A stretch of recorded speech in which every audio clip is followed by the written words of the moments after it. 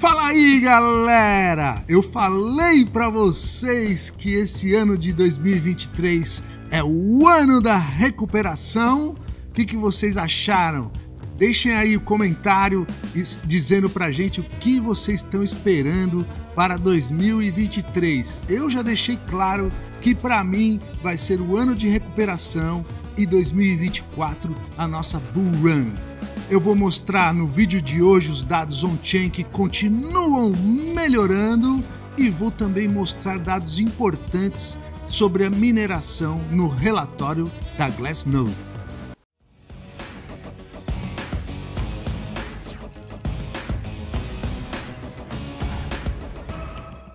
E só se você estiver acreditando na recuperação, deixa aí o like para o professor, porque se você não gosta do Bitcoin, também não precisa deixar o like, tá bem? Veja aí, ó. O nosso volume essa semana subiu simplesmente 133% e agora está batendo na casa dos 34 bilhões de dólares diários. Será que nós vamos deixar aquela fase negra para trás, abaixo dos 20 bilhões de dólares? Esperamos que sim, tá bem?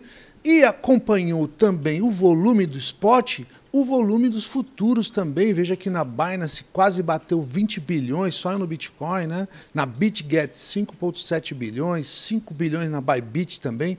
E aí, somando todos, dá ao próximo dos 34 bilhões. Então, neste exato momento, estão andando lado a lado o mercado spot e o mercado de futuros. Bom, a parte do que nós falamos na semana passada, que eu imaginava que a gente ia nessa direção, ia subir, porque eu via que os dados on-chain melhorando, nós agora estamos lutando contra esta resistência em 21.350 dólares. Vai ser difícil passar agora, porque, como todos os outros youtubers estão mostrando para vocês, nós estamos com vários indicadores, como por exemplo o RSI, já muito alto. Então, provavelmente nós temos que esperar aí uma pequena correção, né, formar uma base de preço para a gente ir em busca de novas altas.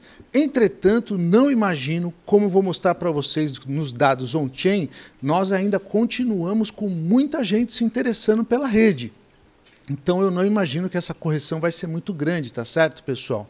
O que eu imagino é que nós vamos ter uma semana aí de formação de base de preço nessa região dos 21k, para depois, nas próximas semanas, a gente ter um novo arranque aí em busca dos 24 mil dólares. Já era para a gente estar tá nessa onda aqui, pessoal. Desde dezembro era para a gente estar tá nessa onda entre 21 mil e 24 mil dólares. A gente só perdeu essa onda por causa do caso da FTX. Então, todo aquele candle foi engolfado e agora o povo que quer participar mesmo da rede Bitcoin voltou a se interessar pela rede. Muito bem.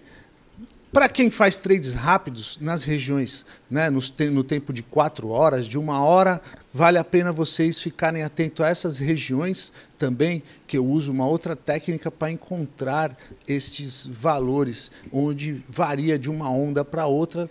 Então, no caso aqui, a gente está tentando passar essa região, 21.200, 21.300 dólares, para poder ir buscar valores aí mais altos. Não imagino que vai ser muito fácil essa semana, ainda que os dados on-chain estejam muito bons. Então é por isso que o professor está feliz?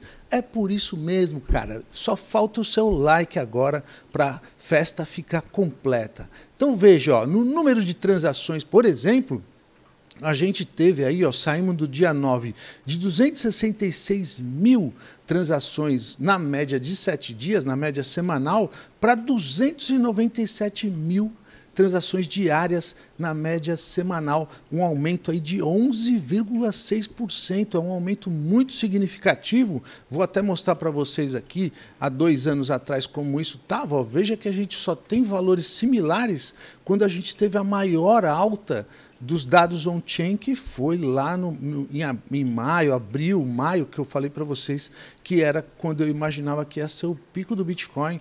A gente teve ainda um pico no final do ano, lá em novembro, mas percebam que para os dados on-chain a gente já não teve mais aquele pico. Então, nós estamos aí certamente deixando para trás, vamos ver se isso vai se confirmar nessa semana agora, mas continuando nessa situação, nós vamos deixando para trás a grande fase negra do Bitcoin. Ah, mas, professor, então agora acabou? Agora é bull run? Ainda não, pessoal. Ainda falta muito, tá certo? Nós vamos ter um 2023 de muita luta ainda. E eu acredito que realmente a bull run só em 2024 mesmo.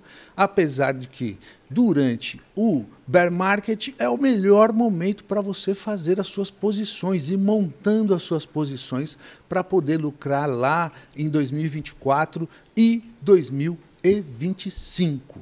A mesma coisa a gente pode ver aqui ó, nos números de endereços ativos, que também nós tivemos um aumento expressivo, saiu de 905 mil endereços ativos na rede para 993 mil endereços ativos, um aumento de 9,7%. Então veja que quando passa de 3%, eu já fico empolgado. E eu estou falando para vocês aqui de valores de 11%, de 9%.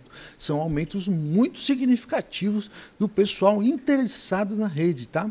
E as sardinhas também não estão ficando para trás, não. Veja que elas estavam abrindo 426 mil carteiras novas, olhando os novos endereços aqui, na semana passada, e agora na média foi para 459 mil carteiras novas abertas diariamente na rede Bitcoin, um aumento aí de 7,7%. E quem se recuperou também em busca dos seus bitcoins foram os mineradores. Então, a mineração, que teve uma grande baixa, que eu vim comentando com ela em dezembro com vocês aqui no canal, ela agora se recuperou e está formando uma bandeira aqui de alta em busca dos 300 exahashes por segundo em alguns dias da semana, que aqui nós estamos vendo a média de 7 dias, mas em alguns dias eles conseguiram sim subir e agora nós tivemos um aumento de 2,6%. Esperamos aí um 2023 com valores acima de 300 exahashes por segundo, mostrando realmente o poder que tem a rede Bitcoin.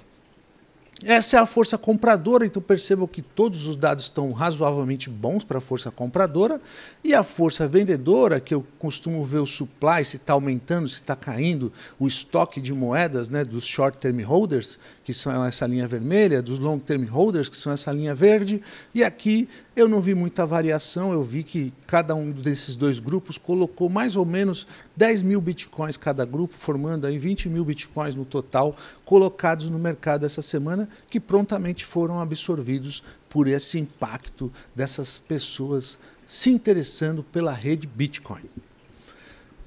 Muito bem, e no relatório da Glassnode, o que, que eles estão destacando? Estão destacando aí o Bitcoin está de volta eles falam aí depois de um grande sofrimento que nós passamos, né, e depois de um momento de um mês com baixíssima volatilidade, agora nós tivemos um rally aí de uma, quase 30%, fazendo o preço do Bitcoin atingir acima de 21k, e isso se tornou um alívio para os mineradores, como eu vou mostrar para vocês a seguir.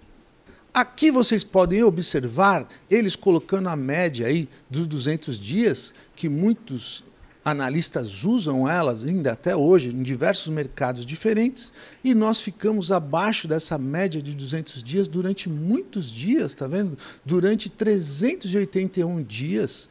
Só a título de comparação, no bear market de 2018 e 2019, nós ficamos 386 dias. E agora nós ficamos 381 dias. Então veja que nós tivemos da outra vez também um rompimento forte, como nós estamos observando agora, e depois um momento de recuperação para depois a gente ter um pequeno rally aí durante o bear market, tá bem? É o que eu imagino que pode estar acontecendo também, então não vá ficar de fora. Quando a gente olha o preço realizado, o Bitcoin também ficou acima do preço realizado. Então veja que ele ficou acima dos 19,5K, que é a média dos 200 dias, ficou acima dos 19,7K, que é o preço realizado. Então, ele normalmente fica alguns dias abaixo em todos os bear markets. Aqui ele faz uma comparação entre os, os, quatro bear markets que ocorreram do Bitcoin até hoje. Então, em um ele ficou 157 dias abaixo do preço realizado, no outro ele ficou 301, que foi o, o caso da Mt. Gox, que foi realmente um caso bastante complicado para os bitcoiners, né? Depois nós tivemos em 2018 e 2019 134 dias abaixo do preço realizado e agora 179 dias. É o segundo maior período da história. Então, para quem está querendo falar em 10 mil Bitcoin a 12 mil Bitcoin, vai ter que torcer para acontecer algo similar, como foi o caso da Mt. Gox, que hoje equivaleria a gente ter a quebra da Binance aí, tá bem? Eu não estou sabendo de nada, já mostrei para vocês os dados on-chain de que eles têm as carteiras deles, eles têm um monte de Bitcoin, um monte de dólar digital, então não imagino que isso vá acontecer. Outra coisa que eu queria destacar para vocês são os mineradores que agora eles tiveram grande alívio após essa subida do Bitcoin. E aqui eu vou mostrar dois modelos para vocês que tentam buscar qual é o custo base de produção de um Bitcoin por essas mineradores e, e a, o, os dois estão mostrando que o preço atual está acima desses valores. Então veja que aqui eles usam um modelo de regressão de acordo com a dificuldade da rede, essa linha roxa, e a gente estava abaixo, tá vendo? E agora nós estamos passando acima desse valor por esse modelo de custo de produção que indica aí para nós 18.795 dólares. Então, Bitcoin acima de 21 mil dólares consegue aliviar os custos de produção das mineradoras que sofreram muito nos vídeos para quem acompanhou a gente aí durante é, essa história do bear market. E aqui é um outro modelo que separa em três grupos, né? O grupo que tem uma eficiência maior na, na produção, o grupo a média de todos e o que tem baixa eficiência. Então veja que o preço atual ele está acima do preço de quem tem mais eficiência na produção de bitcoins, que hoje esse preço está em 12.505 dólares, e já ultrapassou também o custo médio aí das mineradoras em torno de 17 mil dólares. Para concluir, minha galerinha, o que, que nós podemos observar é que os dados on-chain estão melhorando durante esse bear market e isso é um bom sinal para os bitcoiners. Nós vimos agora um alívio também dos mineradores, então podem agora colocar as suas máquinas para trabalharem, mostrando que então o hash rate pode subir por conta disso. E obviamente não vai ser muito fácil essa semana. Imagina uma disputa grande nessa resistência em, em 21.350 dólares e Obviamente, como os dados on-chain estão melhorando, eu acho que esta briga vai acabar dando touros na cabeça, tá bem? Espero que esses dados ajudem vocês nos trades desta semana. Tenham uma excelente semana e bons trades. Um abraço!